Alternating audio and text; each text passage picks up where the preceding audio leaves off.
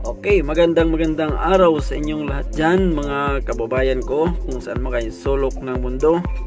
Magandang araw sa inyong lahat dyan. Gusto kayong batiin isang bonggang shoutout sa inyong lahat. At bago ko umpisahan yung aking video na pag-usapan nating coins, babatiin ko kayong mabuhay kayong lahat dyan. Mga kolektor, mabuhay kayong lahat. Kung saan man kayo sulok ng mundo. Mabuhay kayong lahat.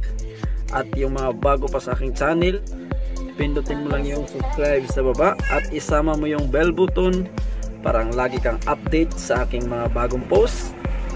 At yung mga nakapag-subscribe na thank you thank you sa inyong lahat dyan. Yung aking mga viewers maraming maraming thank you sa inyong lahat dyan. Okay simulan na natin yung ating pag-uusapang bariya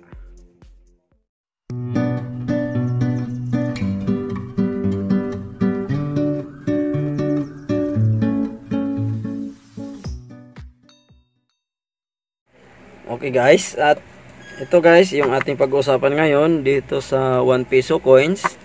Kasi marami pa rin pong nagtatanong sa akin ng ganitong coins na 1 peso coins. Kaya ito po yung update natin sa inyong mga tanong. Ito po, sasagutin ko na po kayong lahat. Uh, ito yung aking 2009 sa 1 peso coins. Ay mayroon na po ako nito 2009 uh, Republika ng Pilipinas 1 peso coins. Ito po, kanyang likod. Yan. At dito naman po sa ating 2008 1 peso coins ay mayroon na rin po ako nito kaya yung may hawak po nito pasensya na po kayo hindi ko na po yan bibilin sa inyo dahil mayroon na po ako ito po at yung ating 2007 Republika ng Pilipinas mayroon na rin po ako kaya pasensya na po kayo sa mayroon din ito. Dahil hindi ko na po yan bibilihin yung inyong 2007 dahil mayroon na po ako. Ito rin yung ating 2006 uh, 1 peso coins. Ito bagong bili ko lang to, bagong bili ko lang po ito kaya yung mga nagpi-PM po sa akin uh, hindi ko na po mabibili yung coins nyo dahil naka, nakabili na po ako ng ating 2006 1 peso coins. Bali, ang kulang ko na lang po nito ay yung ating 2005 1 peso coins. At kung sino mang mayroong 2005 dyan, uh, i-PM nyo lang ako sa aking page. Uh, ayan po yung aking page. Yan. Uh, i-PM nyo lang po ako dyan para mapag-usapan natin yung inyong coins na 2005 1 peso coins.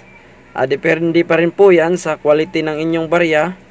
Kung maganda ba or hindi. Pag-usapan na lang po natin yung price. At kung marami man po yung inyong 2005, ya, bibilihin ko po yan lahat sa inyo.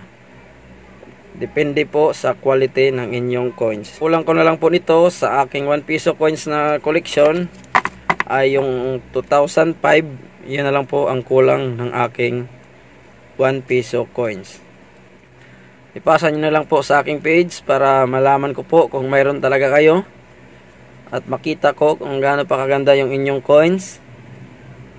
At mapag-usapan natin kung magkano niyo rin binibenta yung inyong coins para mapag-usapan natin sa price. Yan ito po yung update natin ngayon sa hinahanap kong barya. Kaya kung sino man ang mayroon doon sa kulang ko na 2005 i-PM nyo na lang po ako. Okay guys at sana mayroon kayo doon sa 2005 para mabuo na yung aking collection. Okay guys, ingat po tayo sa COVID-19.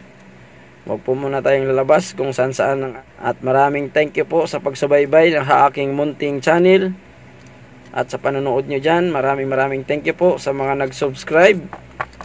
At yung mga hindi pa nakapag-subscribe, please, subscribe ka na para lagi kang update sa aking mga hinahanap ang ibang barya. Thank you, thank you sa inyong lahat. God bless you.